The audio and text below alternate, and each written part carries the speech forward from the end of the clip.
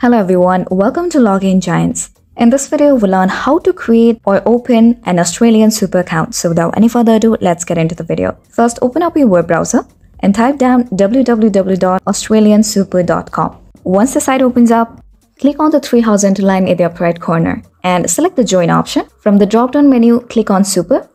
And now it's time for you to fill the form. First here, enter your email address and tap on get started. Now in the second page, enter your first name, your last name, your date of birth, and your gender. And once you're done, tap on continue. And now similarly in the next page, enter all the information regarding your address or your location, including your zip code. And once you're done, select continue.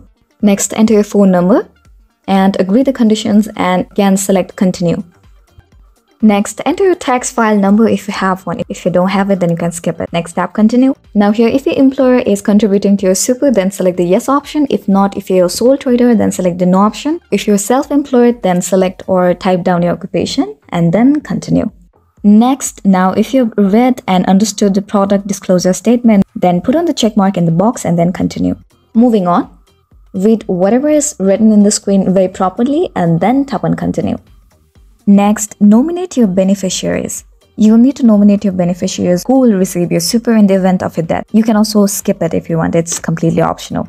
So if you have someone in mind, then you can go ahead and select the yes option. Otherwise, no and then continue.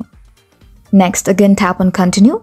Now here, agree the term and again tap on continue. And finally, you have completed the form.